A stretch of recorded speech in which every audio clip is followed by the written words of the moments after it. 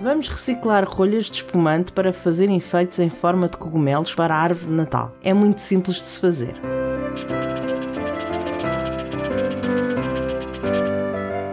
Bem-vindos ao canal Nela Som. Meu nome é Nela.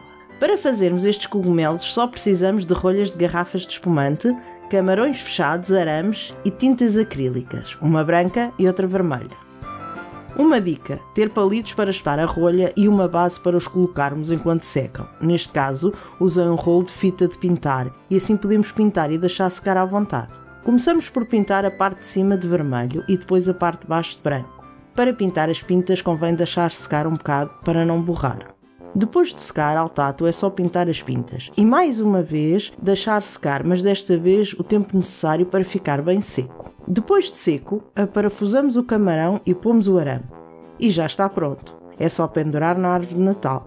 Espero que tenham gostado desta ideia para uma época festiva. E se assim for, subscrevam para mais vídeos destes. Cliquem em gosto e comentem. E muito obrigado por assistirem. E até ao próximo vídeo. Feliz Natal para todos!